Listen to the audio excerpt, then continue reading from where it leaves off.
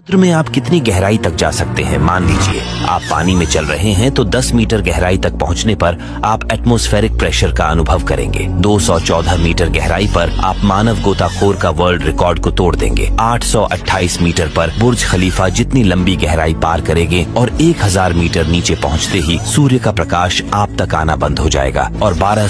metre पार करने के बाद आप डीप मिलिट्री की सबसे गहरी सब के एरिया में पहुँच जाएंगे अड़तीस मीटर की गहराई आरोप पर आप 112 साल पहले डूबा हुआ टाइटैनिक की गहराई तक पहुंच जाएंगे और अब तक का दर्ज किया गया सबसे गहरा डीप पॉइंट 10,935 मीटर है और इसका नाम चैलेंजर डीप है ये इतना गहरा है कि माउंट एवरेस्ट को उल्टा कर दे तो भी इस गहराई तक नहीं पहुँच पाएगा अगर आप साइंस में दिलचस्पी रखते हैं तो आज ही अवेयर टीवी के साथ जुड़े